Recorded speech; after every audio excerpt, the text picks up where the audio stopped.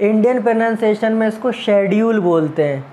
लेकिन अगर इसको या आप अमेरिकन या ब्रिटिश प्रोनाउंसिएशन में बोलेंगे, अगर इसका अमेरिकन और ब्रिटिश प्रोनाउंसिएशन क्या होगा?